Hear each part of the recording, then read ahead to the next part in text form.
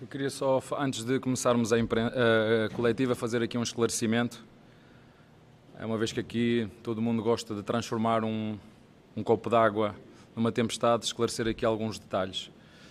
Primeiro, passou-se aqui uma, uma discussão ou uma confusão ali no túnel entre o nosso diretor desportivo e um, e um, e um dos assistentes uh, de, de arbitragem.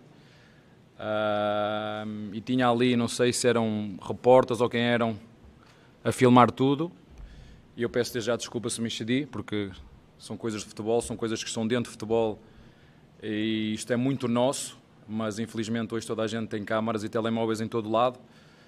Peço-me desculpa se me excedi, a minha intenção foi só isto é, para, isto é do futebol, há coisas que a imprensa não tem que saber, mas antes que isto vir uma tempestade, porque já sei como é que isto funciona aqui, são coisas que se passam no futebol e está aqui só esta introdução esclarecida antes que isto vir um, uma tempestade.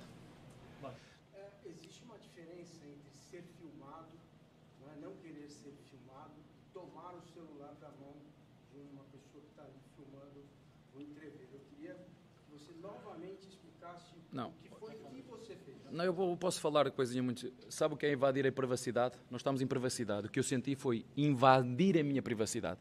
Eu não posso ter um. Eu estou aqui a falar com ele, eu vou ser bem aqui e mostrar aquilo. Não, não posso no meio de uma confusão. O que eu senti foi invasão de privacidade. Foi só isso.